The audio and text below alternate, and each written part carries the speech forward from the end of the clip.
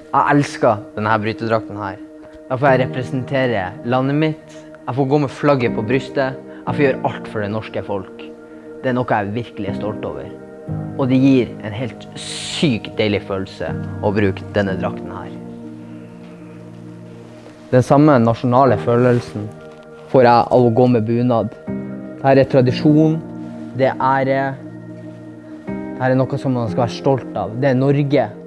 Den samme nasjonale følelsen vil jeg at du skal få kjenne på.